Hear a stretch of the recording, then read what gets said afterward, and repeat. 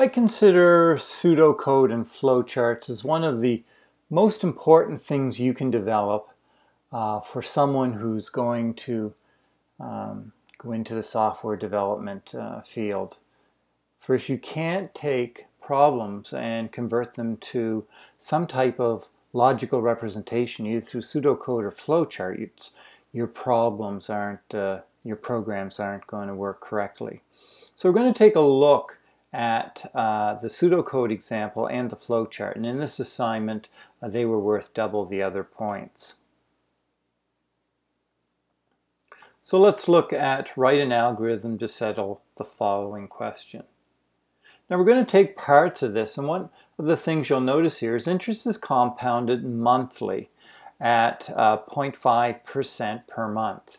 So 0.5 percent is a month and since it's compounded monthly we have to do this monthly not yearly some of you uh, attempted to do it uh, per year you start out bank account starts with this and in pseudocode it's quite common to write some English but um, with quite a bit of math. Math is a very common language. So rather than being wordy and saying the balance, uh, the bank balance starts at $1,000, just put bank balance equals 1,000 or balance equals 1,000.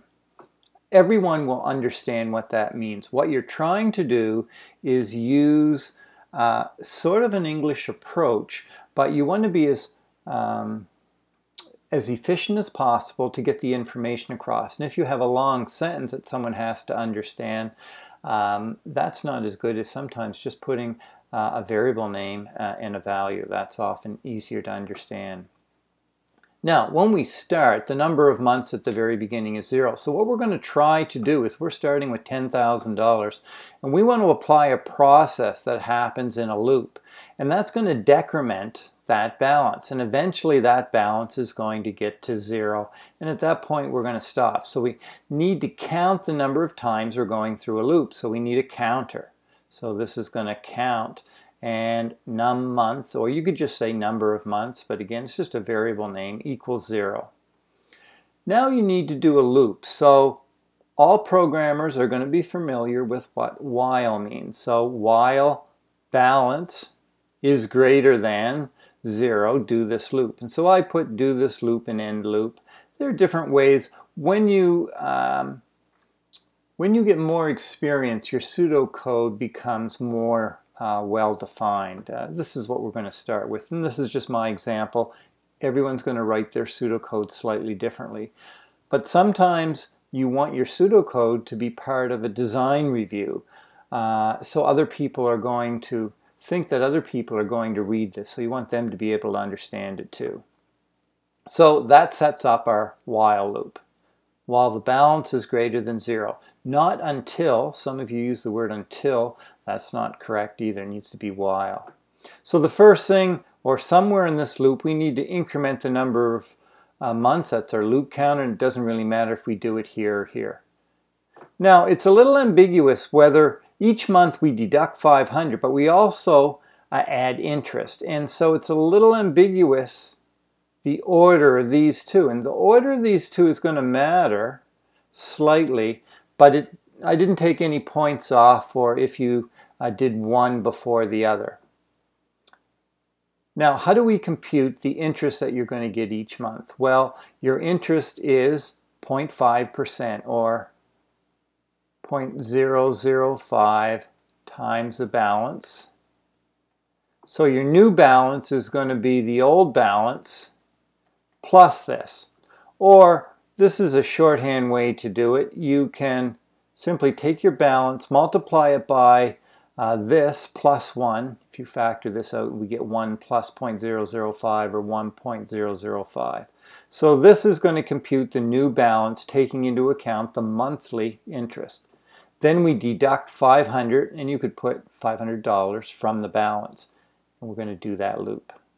Until the balance is, we do the loop as long as the balance is greater than zero. When the balance uh, dips below zero, then we go here. So we have some number in the number of months. Maybe it's uh, 50.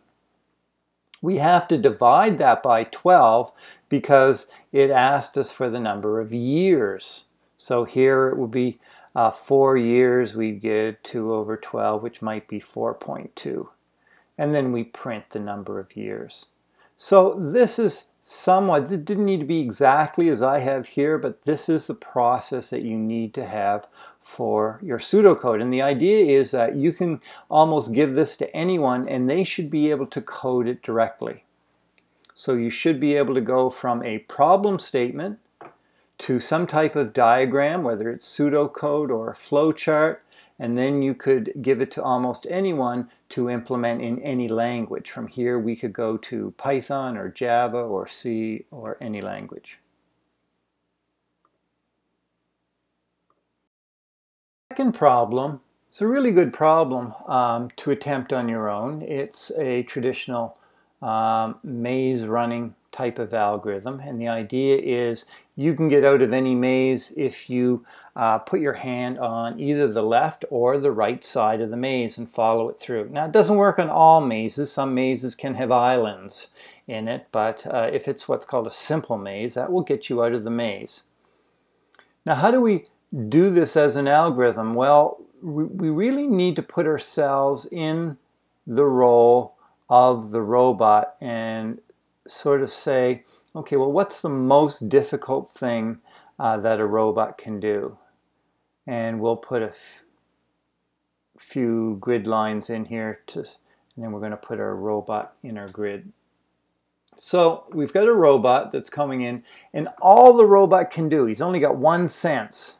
And some of you gave him more senses, but all he can sense is there a wall directly in front of me? That's all. So that's the only test. We I added a test, you know, am I at the exit? And that's fine. But let's suppose our robot's right here going this way. And we want to make sure we follow a right hand uh, right hand part of our maze. Well, how would we do that? Well, that's not obvious down here because we can only go forward. But there becomes a question when our little robot gets right up there if we're going to follow the right hand side, okay, so let's pretend we're right here. What we need to do is turn right. So we can start to build our flowchart. So TR will be turn right. And at that point, we will be this way. Um, now, I should almost have said Let's suppose this wall wasn't even here. When I'm pointing, oh, let's do this again. I could be at a junction here. So my robot moves into this junction. One of the first things the robot needs to do is say, um,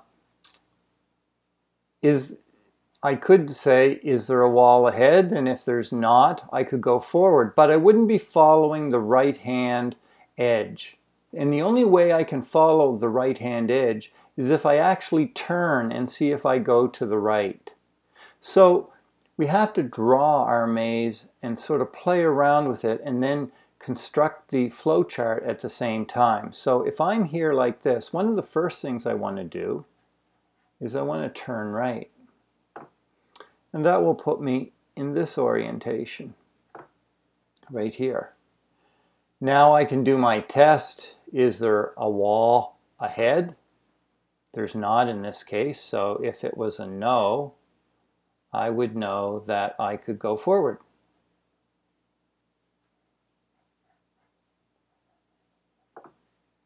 And that would take me, let's suppose there's a, that would take me over into here and I have a little loop here. So if I'm here, I want to check again to see if I can go right, so I could turn right. Is there a wall? At this point, there is a wall.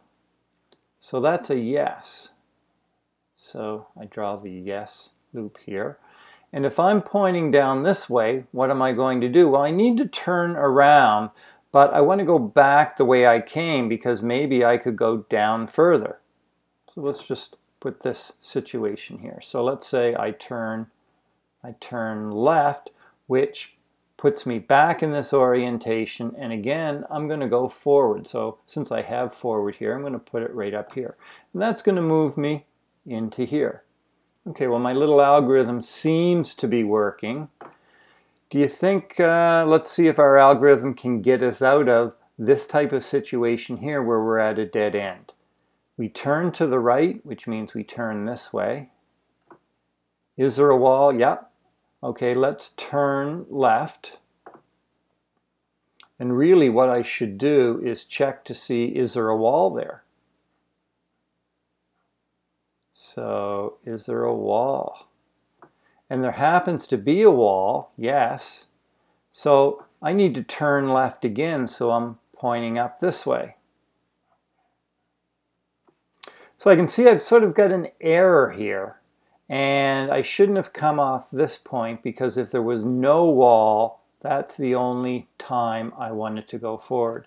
And the point of all this is that you really, there's no easy way to do the logic. You've actually got to draw it out and make sure your flowchart is actually going to work. So I'm going to show you a flowchart that after some work, and it takes some time to uh, develop this flowchart, that works. So this is a flowchart, and after you have a flowchart, as with anything, you need to test your flowchart. Okay, so you've come up with your flowchart, you think it works. Well, let, let's, so let's make some hypothetical little situations in our maze and see if they work. So if our robot is up here at a junction and it's gone this way, let's suppose, um, is it going to take the right path? Is it going to go right instead of going left? So let's suppose it's moved forward and it's up into this position. So we've moved forward so am I at the exit? No, it's not the exit, so I come down here and I say, I turn right. So my robot is now pointing that way. Is there a wall? Nope, there's no wall. So this should have said no here. Every decision should have a yes and a no answer. So no, I'm going to move forward and I'm going to be uh, here and I'm continuing around. So we can see in this situation the robot properly navigated and made sure uh, that it went to the right hand side. You would have maybe a situation where a robot is going right here and is hitting a dead end and you want to make sure the robot turns around and comes back out of the dead end. So right now it's following this right hand side. Well let's see, we am I at the exit? No, I'm going to turn right. Down here, is there a wall? Yes there is, so I'm going to turn left. That means I'm going to turn back this way. Is there a wall? No, I'm going to move forward, so now I'm into here. Uh, turn right, I'm down into here. Is there a wall? Yes. Can I turn left? So I'm back this way. Is there a wall? Yes. Now I rotate through here and it says, I turn left again. I'm up here. Is there a wall? Yes. I turn left again and I'm going back the way I came. Is there a wall? No. So I move forward. So now I start to move out of that dead end this way. And you can test a lot of the uh, maze conditions by following your flowchart. So you need to make sure that your flowchart uh, is fully debugged. And the only way you can do that is test your flowchart as you would any program by going through it by hand. Once we have a flowchart, it's relatively easy again to move from this type of logic into uh, any code, whether it be Python or Java or C or whatever. But even more uh, helpful is that all software designers go through code reviews. And it's really a good idea to have other people view your logic or your code. Well, you don't want to give them necessarily a lot of Python. You may want to give them, here's the logic that I think works. And it's much easier for someone to debug your logic at this level than it is to uh, debug your logic and debug your syntax and code at the same time. So for some parts of code reviews, you want to give pseudocode or flowchart so that people can look at them. And they may pick up some errors in your flowchart before you even start to code. Moving from problems to logic diagrams like a flowchart or pseudocode really um, is the mark, I think, of a of a, the proper process you want to develop as a, as a software developer.